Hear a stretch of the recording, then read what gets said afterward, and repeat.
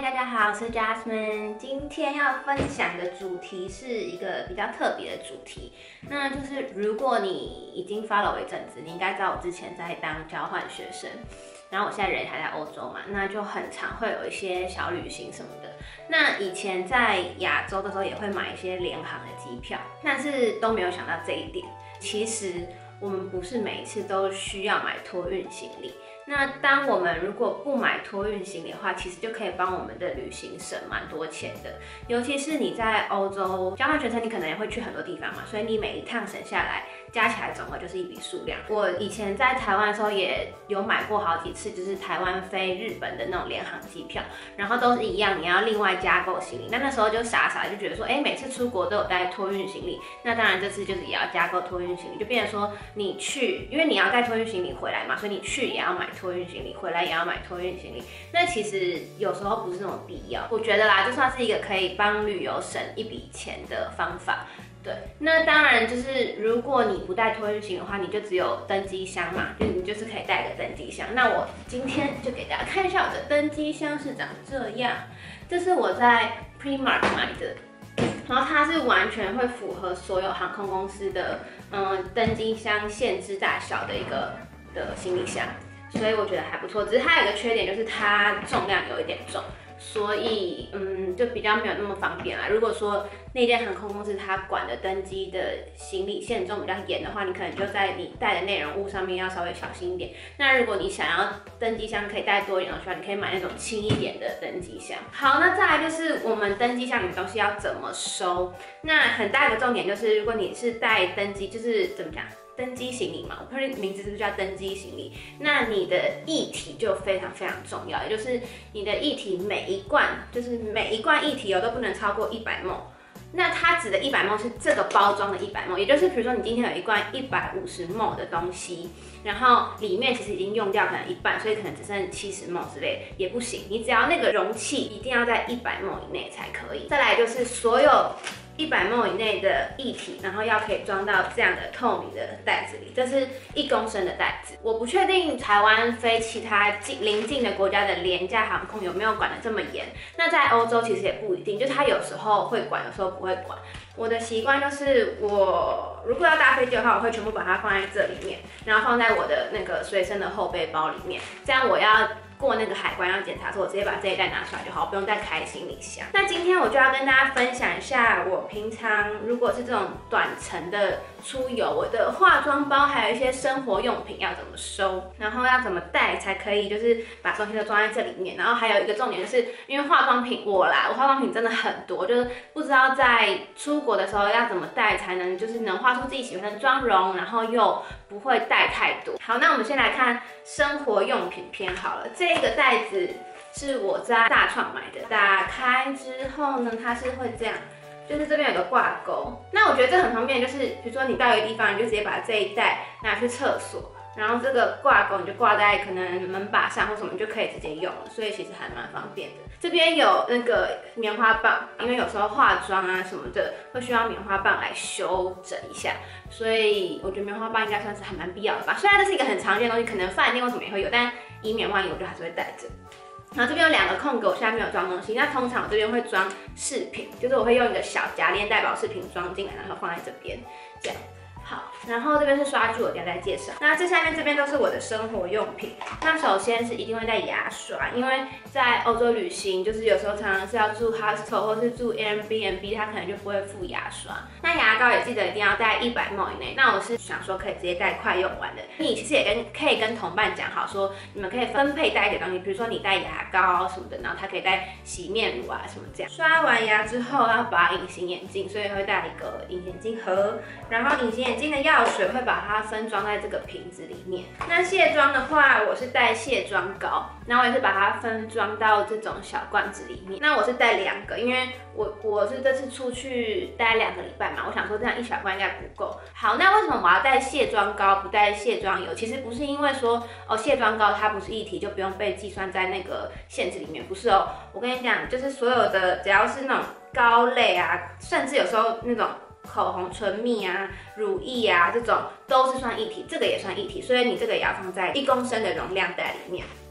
那我带这个只是因为我觉得它卸妆力够强，可以卸得很干净，然后又不会占太大的空间。因为如果你带一个卸妆油，可能就是这样用一罐嘛，那你们看这两个空间就有差。再来，我的洗面乳是带这个，这是我之前去 Kiehl's 买化妆品，呃，买保养品的时候他送我的一个赠品，就是那种旅行用的小墨梳，也有其他那种这样子 package 类的赠品，所以你们可以带这种赠品类的东西。赠品包就是这种登机箱式旅行的。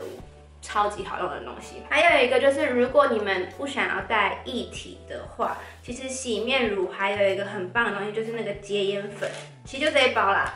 洁颜粉，那洁颜粉它就粉类就不算液体的嘛，所以如果你带粉类的话，它就可以减减少你使用这个一公升容量袋的口袋。好，那现在卸完妆了嘛，我们现在就来保养。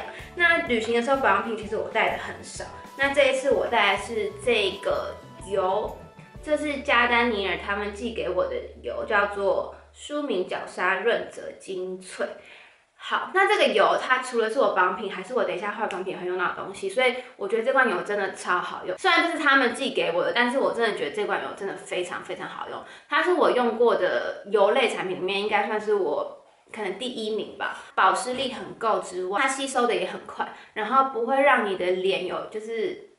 很厚重一层东西在上面，感觉我之前有用过，嗯，Doctor Wu 的角鲨，那它其实也是算跟这个质地蛮像，但是呢，我觉得它。在我肌肤上感受的那个保湿效果就没有那么强烈，这个应该是我会之后会一直回购的油类产品。那如果你们有兴趣的话，我会把资讯放在资讯栏里面，因为他们有给我折扣嘛，所以如果你们想要买，然后又想要省一点钱的话，可以用折扣码去买。除了油类，我会带这个很久很久以前我就分享过的这个妮维雅的面霜。那这个面霜是我买小墨数的盒子，七十五毫的。那为什么要带这个？就是我觉得它除了可以擦脸之外，它也可以擦身体，这样我就不用再另外。带一个身体的乳液，而且它保湿力很够。那但是这个东西就要注意说，它白天化妆前不能擦，因为它保湿力就它太油了。如果你擦的话，你的妆基本上可能就很难画上去。再来我会带呃也是分装的化妆水，刚刚不讲了。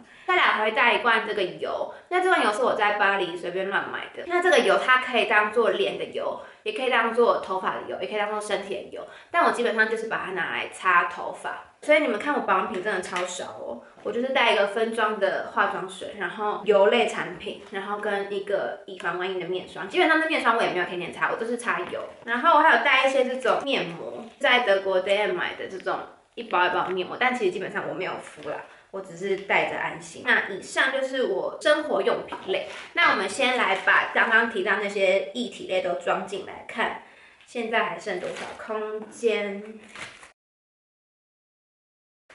其实这个袋子看起来很小，但是它能装的东西还算蛮多的。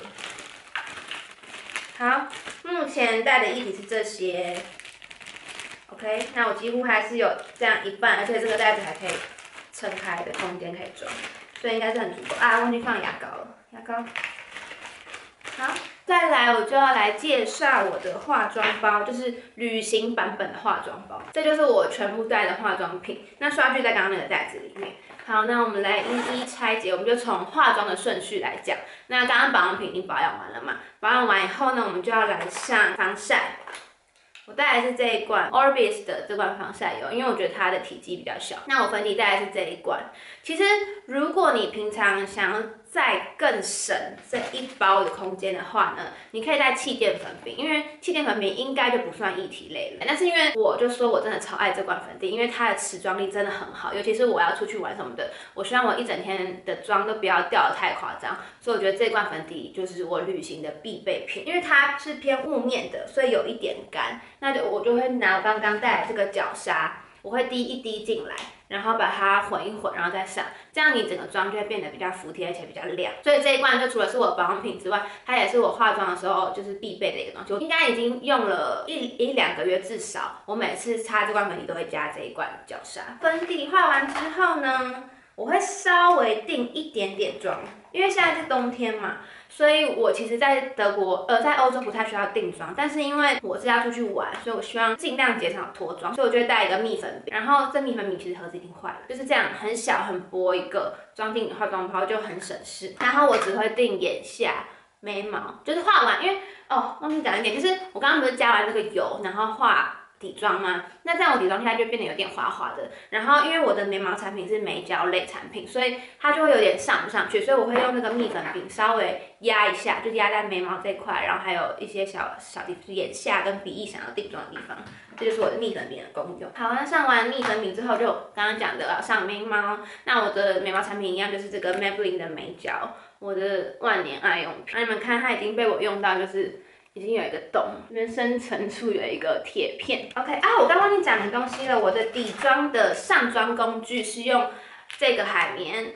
那这个海绵是我在 Sephora 买的一个，就是这样。扁平的，有点它这样看有点像美妆蛋哈，但它这样转过来是扁平的。我觉得这海绵真的很好用，它好用的第一点就是它的收纳很方便，因为美妆蛋它们是这样。立体状，但这个是扁平状，所以你就很容易可以收进你的化妆包里面。这是它本来包装来我留着，因为我不想我的海绵就去碰到一些脏东西。再来就是它的质地跟美妆蛋其实很像，它的海绵体很软，就不会让你觉得很不舒服。然后上起妆来也是蛮贴的。啊，忘记讲鼻影了，我的鼻影目前是用这个，是 Cat 的，嗯，Slim Creative Powder for Cover。然后它是这样打开来之后，它有两个颜色，一个是打亮，一个是修容。但我其实觉得这个当鼻影是有一点太黄了，但是我还没有找到适合的鼻影，正在寻找中。Anyway，这是我目前用的鼻影。发现我都一直漏讲上妆工具，好，继续我就补讲好不好？刚刚有讲到什么蜜粉嘛？我会带一支蜜粉刷，这支蜜粉刷是 Sephora 的 F 二十五。那刚刚鼻影的话，虽然鼻影它这个里面啊，它其实有附一支刷子。然后这支刷子其实也不难用，就是蛮软，但我自己还是习惯用这种就是斜斜的这种斜角刷来刷鼻影，这样子我觉得它比较符合我想要刷的角度。刷完鼻影之后，我们就要进入眼影。那眼影的话，我就会带这种非常小一盘的，这是 Etude House 的。那你们看这个眼影是直接可以放到我的化妆包里面，我觉得这样的眼影盘还蛮方便。那他们家这一系列眼盘都出这么小嘛，然后颜色又超级多。所以我觉得，如果你们想要旅行，然后有不同的颜色眼影可以选的话，可以考虑带。好，眼影刷我只带两支。那基本上，如果你是有在习惯用刷具上眼影的话，你应该知道用两支眼影刷上眼影其实是有一点困难，因为它们很容易脏掉什么什么的。那这时候有一个非常非常非常重要的工具，就是这一盒，也是 Sephora 的，Sephora 真的很多很好用的小东西。就是这个，我之前就已经在最爱提过了。这个是我叫它洗刷盒啦，它里面就是有点类似这种泡棉吗？还是海绵？你只要把你的刷具，就是比如说我现在沾了某个颜色的眼影，然后我画完以后我要换颜色，我就直接这样在上面刷一刷，刷一刷，刷一刷。那你看上面就是会有眼影的一些脏颜色嘛，然后它就变干净了，它就变完全没有颜色，完全没有颜色，然后你就可以去沾新的颜色。就这样子，所以你一支眼影刷就可以画很多颜色，所以我就只会带两支，一支是上颜色，一支是晕染在一起，这才五欧吧，就很便宜，就是很方便，CP 值很高，而且它这个东西用完了，你就拿去洗一洗，然后再放回来就继续可以用了。所以你先用完这一面，再换面用，然后洗洗，继续用，就是一个无限循环的一个东西。在上完眼影之后呢，我们就来上睫毛膏跟眼线，所以有一支眼线笔，眼线笔我带的是那个 Kiss Me 的。睫毛夹跟睫毛膏，那我其实觉得带这种这样形状的睫毛夹出去玩是有一点不方便。化妆包比较小，或是你觉得真的带这个很不方便的话，我很推荐你们买无印良品那个白色的。方框状的，就是它是可以把它掰起来，然后变成睫毛夹。腮红跟打亮，那你们就选一颗自己最喜欢的腮红，我觉得带一个就够了啦。然后再带一个打亮。那再我都要讲，重点是这两个用的刷子是同一支，因为平常我其实在家的话，我的腮红跟打亮刷是绝对是分开的，但是出去玩我就想要尽量省。那一样，这是我的腮红刷，它是 Sigma 的 F 十。一样，我画完腮红之后，我就把它放到这个盒子里面刷一刷。